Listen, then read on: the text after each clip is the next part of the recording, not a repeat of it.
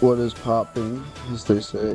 Uh, it is week nine. it is week nine.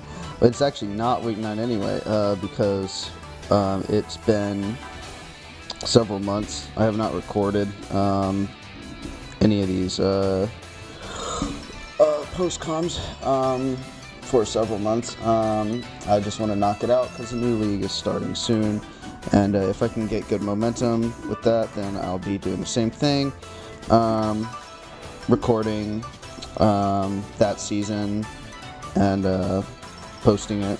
So we'll see if that pans out because um, I got so lazy with this. Um, yeah, week eight was recorded a long time ago too, so I will get that up. Also, like making the thumbnails, like my crappy thumbnails, and um, uh, Microsoft Paint is time consuming as well.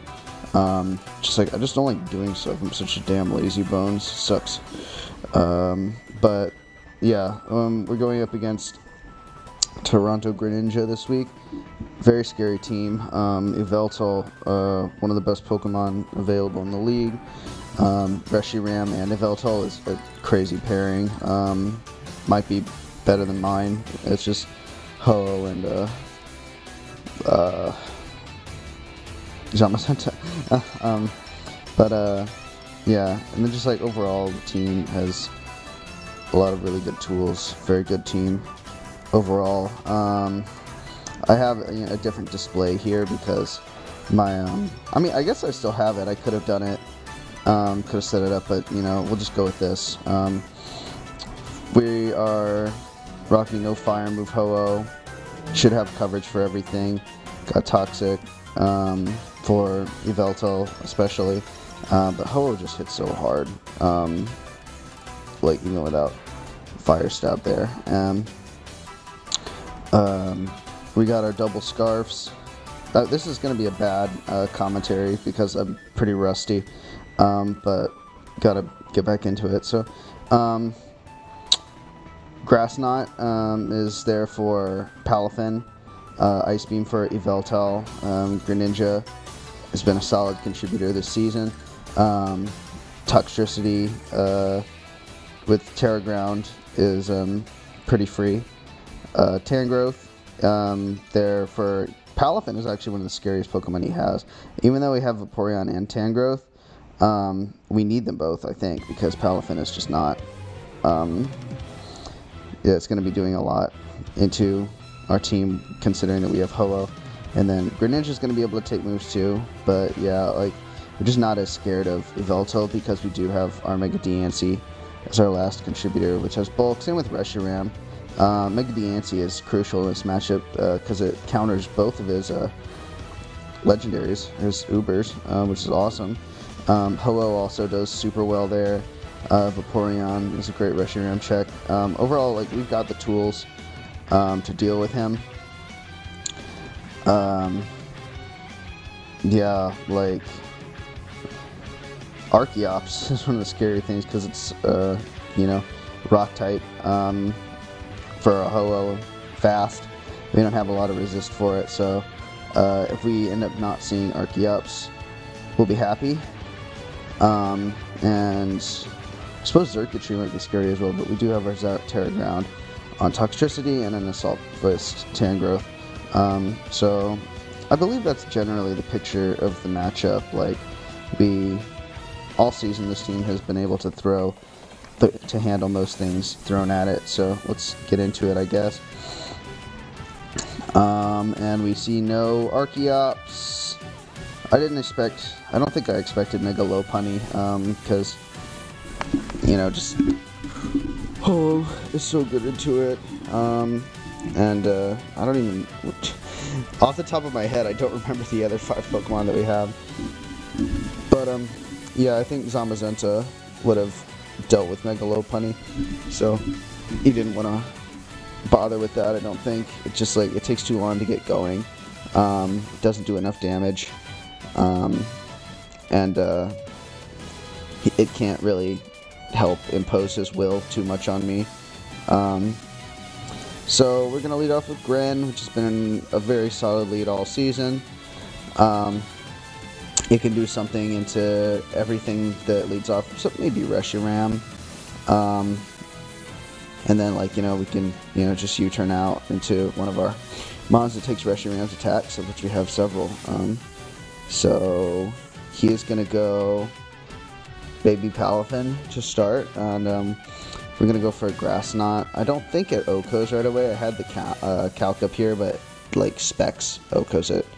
Um, so I could be wrong, actually. Let's try it. Because what I was looking at um, yeah. Uh, now, if he has some bulk, he doesn't, but I have an 81% chance um, to do it. And considering that uh, this is just his, um, uh, I hate when I click out something I'm not supposed to. do. It's fine though. Um, I just get distracted easily. Um, but yeah, I'm thinking that like because he doesn't really have. I mean, he has Serp, but like this being the mon that he might want to go into on Greninja to start, that he might just let me have it with a Grass Knot. So we're gonna go right for it. But he's gonna go Clod, um, and I'm believing that this is Spreadeath for that reason. So we're gonna go right for it. Um, we're gonna go right into Ho-Oh um, on a Poison move or on Hazards. He's unlikely to have Stone Edge, in my opinion.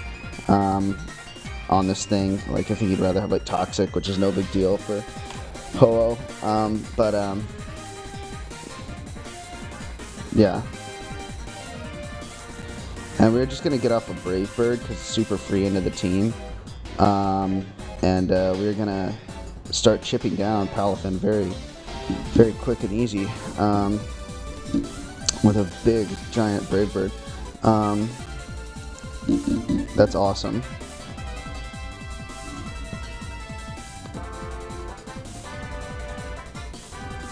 So we're gonna get out of here, but he's gonna actually double on me. Um, Tangrowth being a more general idea of um, what he might want to do um, into Palafin uh, overall a little bit better. Um, so Vaporeon would have been great for him on that, but I mean he is only neutral to water. Um, so yeah, good position for him here, but luckily we have two big balls um, that Reshiram can't do much about. We're going to go to our Diancie, get our rocks up. He does go Serp um, on offensive switch on his part. Um, and then we got to get out of there. Um, and um, pretty much anything he wants to do is going to be fine into. Just he does defog, um, which is fine.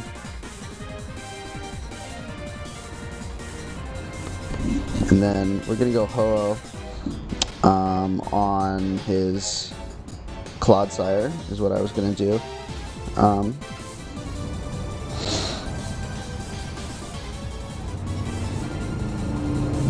yeah. Well, hold on. Cause so, yeah.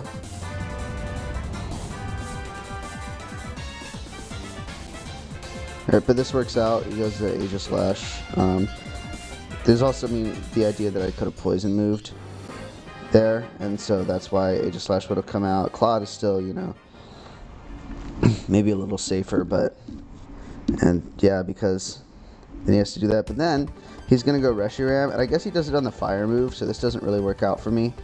Um, but like, yeah, because I, I, don't actually have a fire move. I could have um, just EQ'd um, or even Brave Birded for Chip. Um, so, but um, I was thinking that he would go. Uh, I th- you know what I was doing? Yeah, I would. Uh, I wanted to head scout for head smash. Um, just uh, didn't want to because I can't OHKO Aegislash. Um, it's too bulky. Um, so yeah, I wanna. I don't want to go into like Vapo, which is like tougher to heal up um, than uh, my regen Pokemon here. Um, and uh, if you just wanted to go for like a Shadow Ball with AV, we can take it. So just an overall general move, but he goes into his Reshiram on the Fire move, which does not uh, work out well for me. But it's fine, because I have this too. It does takes almost the exact same damage as um, Mega Diancie. Um, but um, yeah, if Ho-Oh hit um,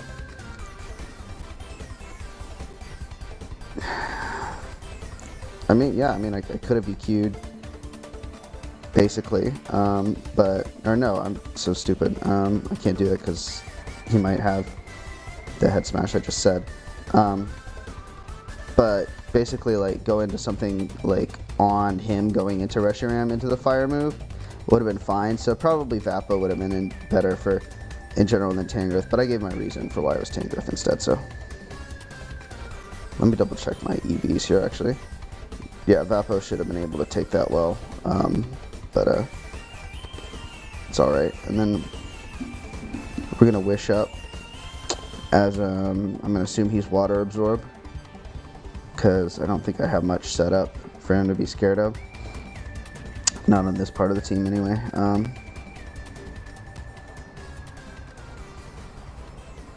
not even gonna bother to try. Gonna wish up Mega Diancie. Here's uh, the Pokemon that we want, and we are extremely healthy right now. Um, he does go Serp into um, probably on like the Protect, but it also worked out for him since there's Mega Diancie here. We'll get out, we'll go Ho-Oh. He just gets a knock because um, he can't really do anything to Ho-Oh otherwise, besides maybe Glare. But we decided to accept Glare. We'd rather have that um, than uh, our Scarf on Tox getting knocked anyway. Um, so we did it the first time, so we just go into Ho to see if we can get him a different look. Um, and we are going to take care of Palafin here on the sack. Um, you know, I think he probably... No, that's later. Okay. Now we've got this scary thing in, but we are so tanky. But it doesn't connect, so that sucks. Um, but here, like I forgot to mention, look how much bulk we have on Iron Greninja. Scarf, no speed. I think that works out actually quite nicely on what it needs to outspeed. Um, but that's really cool. Um, I've been having a lot of fun with putting bulk on Scarf Greninja this season. Um, and that totally works out. 49. Couldn't ask for anything better. Yeah, just U-turn out on this guy. Not staying in on that Ice Beam. Now here comes Ho-Oh. Mm -hmm. And at this point, we're pretty sure he's not head smash. Because he would have gone for it. He had the opportunity. So maybe we're getting conditioned there, but um, it makes sense, right? That he would have had Smash before when Ho-Oh, super free, was in front of it. Anyway, um, yeah, and at this point, you know, we're chipping him down, trying to preserve as we do. Working out at the moment, big damage on that. Here comes Serp on the defog, but we don't fall for it. We go ahead and get a Brave Bird off because it would have taken out the Clod. Um, and he's unlikely to go Aegislash, um, but not only because I just EQ'd, but just in general. So that's cool. We are knocked off, um, and uh, rocks are here. So that's annoying, but Ho-Oh is as I think we've seen already this season, is so bulky that taking rocks is really not that big a deal.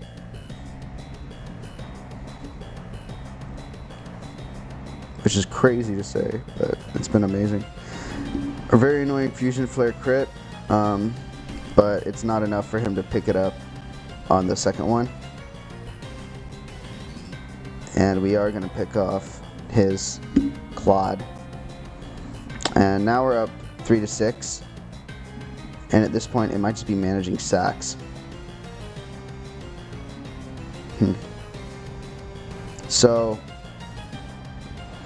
he can,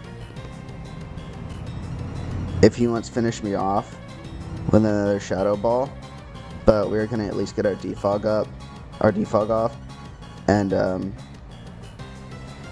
at that point it probably would have been acceptable to me to lose Ho-Oh. Um, getting the uh, the defog off is quite nice. Um, I feel like there's maybe more to this play that I'm not noticing at this point in time. Um, but like, yeah, it just I think it's like just that Aegislash like it feels that either King Shield is free or that like it can get out, um, or that it's like rather that it's going to get out, and so defog feels free here. Um, on the uh, on the switch out more than anything.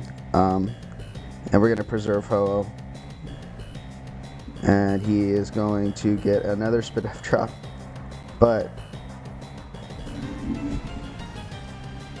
yeah, even though like I mean, I don't know if like really why he went Reshiram there. I don't know if he just doesn't have that many options. But um, Shadow Ball again makes more sense, right? Like I mean, Gren could come out or Ho-Oh, one or the other, probably, right? Probably not staying in with my Tangrowth, which is naturally slower than um, Aegislash um, to just get killed. Um, I mean, to be honest, maybe I could because I, it doesn't really do much from this point out. I mean, it helps versus Aegislash. I have EQ on it and knock. Um, but like, yeah, I'm not sure, but at any rate, that's pretty easy, right? Go ahead, we do get 50, but he is lefties. And so he is going to do that. Um, but, um, yeah, honestly, I mean, I don't think there was even like a roll. Um, like, I should have probably Brave Birded there. Um, I, I remember thinking quite hard um, on the turn as to what he might do. Um, but in retrospect, going to Yveltal on that play seems quite obvious. Um, and it's at this point that he can start doing some tough stuff because that is big fucking damage. Um, and he's going to finish off my Vapo, which is kind of unfortunate, but we're up so much that it is still just sack management, I think. Um, and uh, yeah, he is like it would have been nice to keep that around for that, but now we have free Toxtricity. Um, he stays in, even though that could have happened. Yeah, he can't unless he like roosts there. Nothing's gonna happen. But even then, like, um, yeah, at, that point, yeah, Voltage into Mega Diancie was super free because um, even if you roost a Moonblast, if he attacks, I just go back. He's still weakened. Um, yep, just chips, chip, chip, chip. And at this point, I toxic on an incoming Yveltal. Um, but now I Brave Bird, um, just to like, you know, have something happen. Um, and it does end up finishing it off. I was not going to EQ at that point. I do recall the yeah the primary thing I wanted to do was to um, just finish him off at that point. I didn't want to get fooled again on the EQ, and I don't. Now here's Aegislash.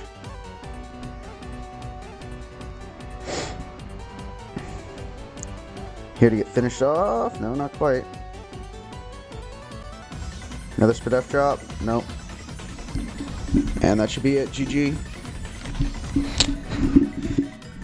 I don't remember exactly what our record is at this point. Um, but I gotta go. Goodbye.